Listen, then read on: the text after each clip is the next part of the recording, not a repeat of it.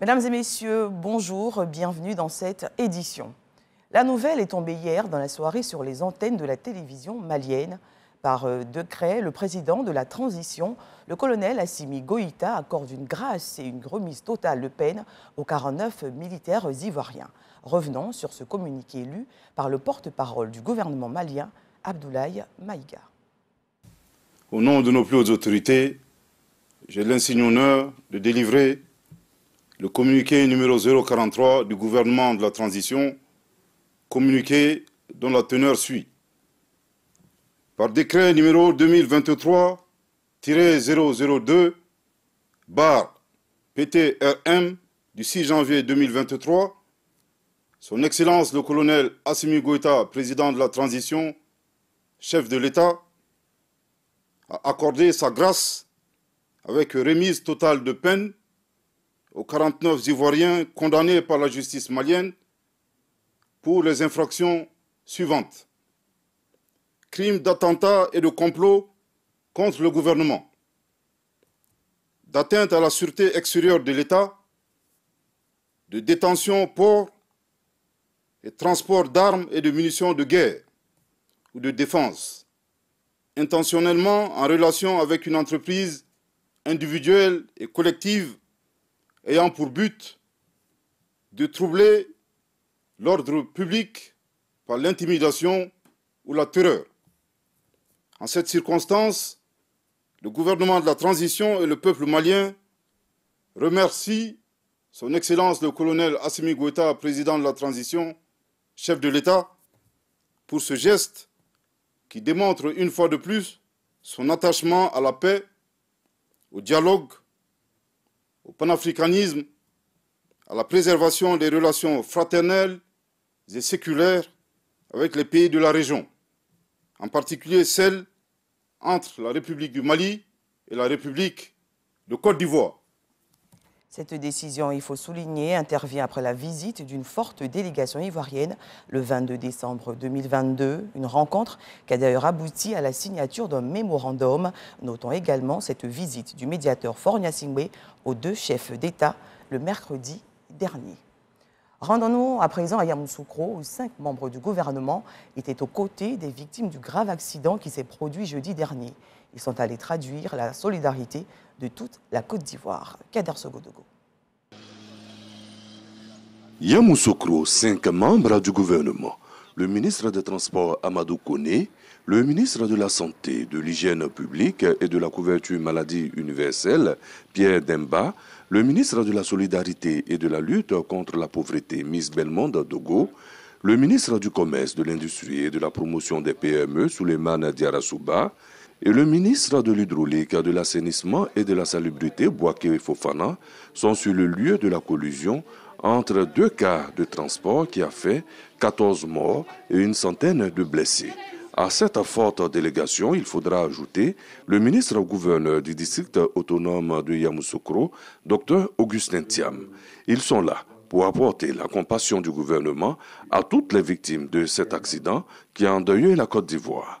Après une première rencontre à la préfecture de Yamoussoukro, direction le CHR pour s'imprégner de la prise en charge des blessés. Ceux de l'hôpital Moscati n'ont pas été oubliés. Dès l'annonce de l'accident, des dispositions euh, ont été prises sur euh, instruction du président de la République et du Premier ministre. Les équipements et les intrants euh, stratégiques nécessaires pour la prise en charge ont été déployés et renforcés, que ce soit le sang, que ce soit donc les médicaments et les autres éléments. Et nous avons également donc, euh, déployé l'ensemble du réseau. Alors, pour ceux qui ne savent pas, c'est que le CHR donc, de est en travaux pour réhabilitation et ne fonctionne que partiellement. Et dans le dispositif que nous avons mis en place, certains services sont délocalisés ici à l'hôpital Moscati. Et en plus donc, de ce centre, on dispose, comme pour prévenir donc, ces cas, d'un centre traumato Hein, un Tomato Center qui est à.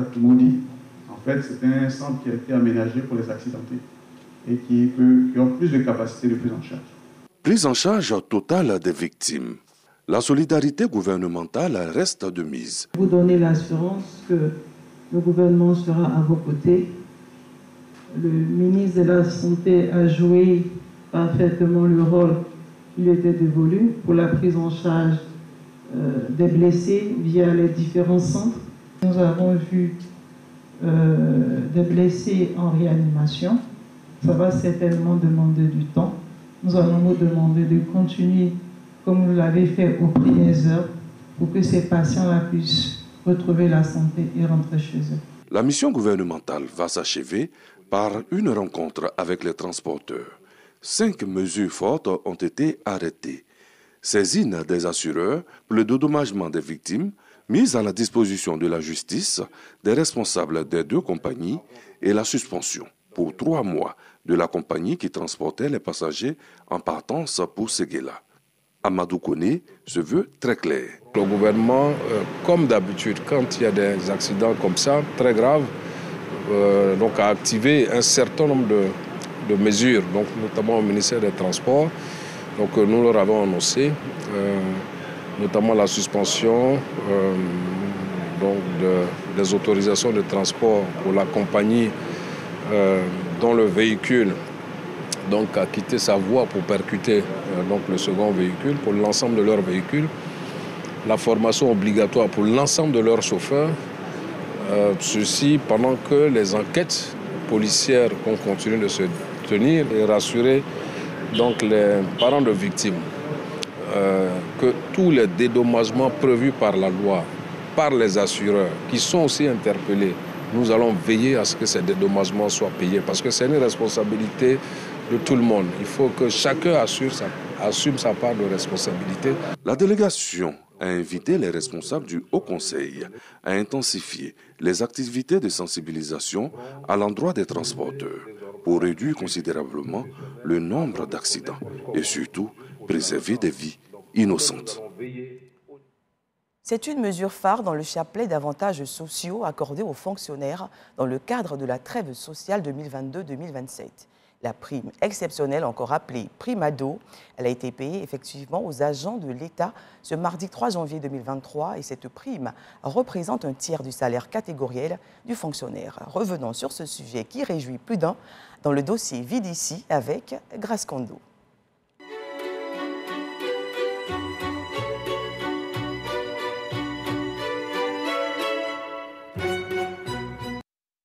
La nouvelle était très attendue en ces débuts d'année 2023.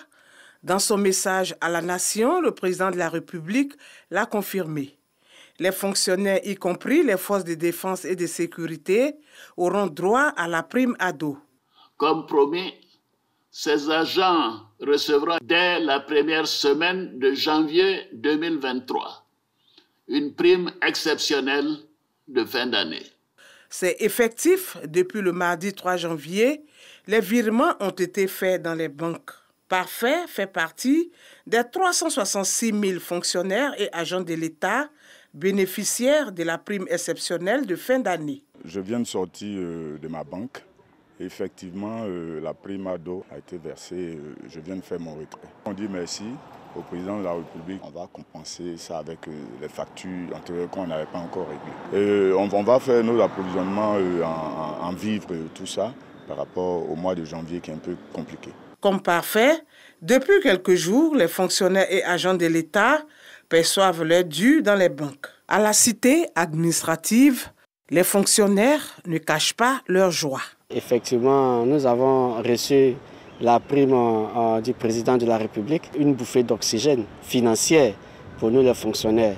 Parce que sincèrement, après les fêtes, ce n'est pas du tout facile. Et nous disons merci au président. Voilà, ça a été promis et cela a été reçu.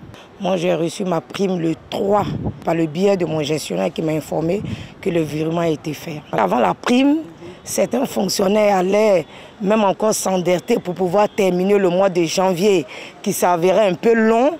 Mais aujourd'hui, nous pensons que c'est un appui nécessaire.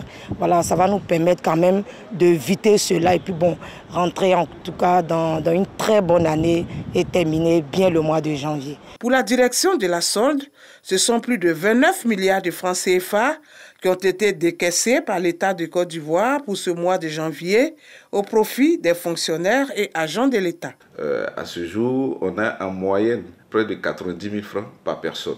le montant maximum se situe autour de 383 000 qui concerne les fonctionnaires qui ont un salaire de base suffisamment élevé. Je voudrais rassurer l'ensemble des fonctionnaires que la prime a été payée sans aucune retenue. Pour d'éventuelles réclamations, les fonctionnaires sont invités à retirer leur bulletin de salaire. C'est d'inviter l'ensemble des fonctionnaires à l'effet de constater le travail qui a été fait à consulter le site internet de la Direction générale du budget et des finances pour pouvoir tirer et examiner euh, le bulletin qui sert de base au paiement de la prime exceptionnelle. Un dispositif en interne a été mis en place pour pouvoir gérer tout ce qu'il y a comme contentieux. Les organisations syndicales se prononcent aussi sur cette mesure du chef de l'État qui a pris effet. Les premiers mots qui nous habitent sont des mots de joie, certes, mais en même temps des mots de reconnaissance à l'endroit de son Excellence, Monsieur le Président de la République, qui effectivement a honoré une fois de plus cet engagement. Nous lui disons merci. En retour de ces efforts financiers de l'État, c'est d'appeler les fonctionnaires agents de l'État, l'ensemble des travailleurs de Côte d'Ivoire, à être très assidus au travail. Et au travail, à faire le travail avec zèle, à faire le travail correctement, bien fait, à être des travailleurs qui innovent dans leur service, qui sont dynamiques. La rémunération est faite, donc en retour, il faut que nous rendions ce qu'on nous demande. Pour une administration moderne, nous sommes très très consciente du boulot que nous avons à faire. En plus de cette prime exceptionnelle, le gouvernement a mis en place d'autres dispositifs de protection en vue d'améliorer les conditions sociales des travailleurs. Nous notons entre autres la retraite complémentaire pour les fonctionnaires agents de l'État qui effectivement permettra aux fonctionnaires au troisième âge à la retraite de pouvoir voir leur pension bonifier, se consolider, être davantage meilleure que celle d'actuellement. La retraite complémentaire pour les travailleurs du secteur privé formel. Là encore, c'est d'appeler les 1 250 000 travailleurs du secteur formel à pouvoir aller souscrire à ce produit qui va effectivement accroître leur capacité, leur pouvoir d'achat au moment où ils seront donc au troisième âge. Et nous notons que son Excellence le Président de la République a fait un pas social très important à l'endroit des retraités. Ils ont connu une revalorisation de leur pension. Des efforts financiers consentis certes par le chef de l'État, mais qui appellent aussi à plus d'engagement. C'est de faire preuve d'engagement pour le service public, de plus d'ardeur dans euh, le service, en commençant déjà par l'accueil dans nos services. L'accueil est le premier point de contact entre l'usager et le service. Donc un accueil avec beaucoup d'empathie, mais aussi un engagement à rendre le service public de qualité aux citoyens sans demander en retour des dessous des tables. Il faut que le citoyen, quand il vient dans nos services publics, peu importe lequel, il doit se sentir en confiance, accueilli par des fonctionnaires, content d'être au travail et déterminé à rendre le service public aux citoyens. C'est vraiment cet appel qu'on voudrait encore une fois à l'occasion du paiement de cette euh, prime exceptionnelle de fin d'année lancée à l'endroit des fonctionnaires et agents de l'État. Pour rappel, c'est le 6 août 2022, dans son message à la nation, que le président de la République, Alassane Ouattara, a annoncé plusieurs mesures en faveur des fonctionnaires et agents de l'État, dont la révalorisation de l'indemnité contributive au logement, la révalorisation de l'indemnité de transport et l'instauration d'une prime exceptionnelle de fin d'année. Des primes, mais aussi des formations. Le gouvernement pense également au perfectionnement de ces cadres. 33 euh, enseignants des centres de formation professionnelle seront bientôt formés en France. Le ministère de l'Enseignement technique entend renforcer leurs capacités pour la mise en œuvre de l'école de la deuxième chance. La mise en route de ces formateurs a eu lieu à l'ambassade de France. Terminons cette édition avec euh, cette information majeure, la grâce et la remise totale de peine aux 49 soldats ivoiriens.